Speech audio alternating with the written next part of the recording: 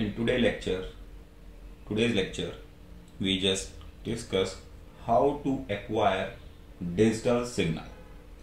As you see over here in my USB 6009 DAQ card we have ground signal. This is my ground signal. It is present at 32 number pin. And we have plus 5 volt signal also.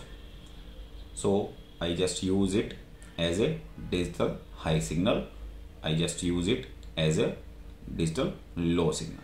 So 31 pin will give me high signal 32 pin will give me low signal.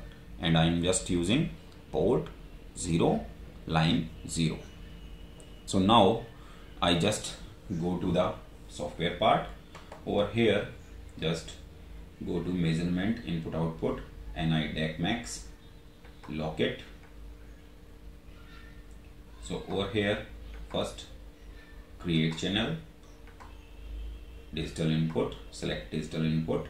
Right now I just want to read the signal and the signal is my digital single channel single sample line 1 okay? Start the task. Connect task into task out.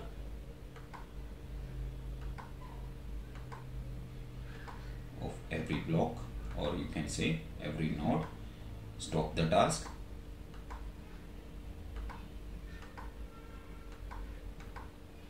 Now over here I just use simple error handler. If some error is there use while loop for continuous reading. Create control over here close it over here create constant to select the pin. Over here device 0 port 0 line 0 is selected. Now you have to just create an indicator in this case because output signal is available outside the word you just read it. The signal is high or low. This is my line 0 pin okay? And this is my stop button. So now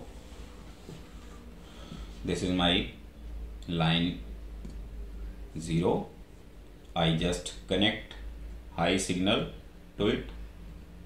So when I hit on run button as you see LED goes on in the software. When I remove it and just connect ground pin to it LED goes low. Again when I connect positive pin to it it goes high. Basically if you are not connecting your port with your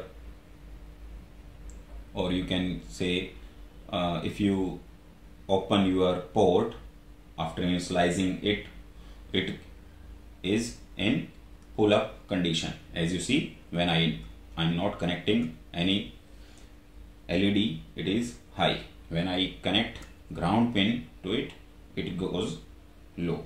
So it is in pull up condition. Okay?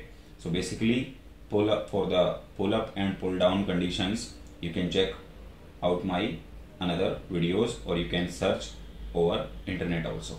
Basically every hardware like NI USB 6009 DAQ card Arduino Raspberry Pi all are initialized with two conditions.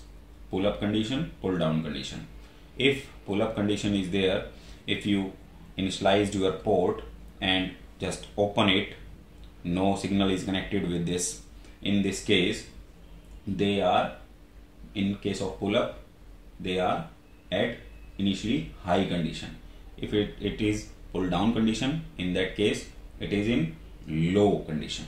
So or you can say if the port is open always high signal is there in case of pull up condition and pull down condition low signal is there okay? So when i connect ground signal goes signal signal goes low and when i connect high signal high is there. So this is how you can read digital signal using NI USB 6009 DAQ card.